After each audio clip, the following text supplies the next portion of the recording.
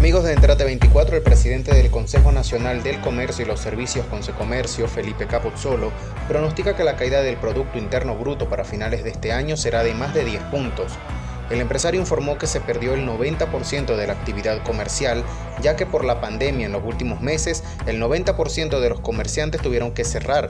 Además, en los últimos cuatro años el comercio había perdido la capacidad de aportarle al PIB el 75%. Sin embargo, Capozzolo indica que el gremio se encuentra a la expectativa ante la medida de flexibilización y esperan que permita dinamizar la economía y así tener la oportunidad de reconstruir el tejido económico nacional que ya venía con años de recesión e hiperinflación.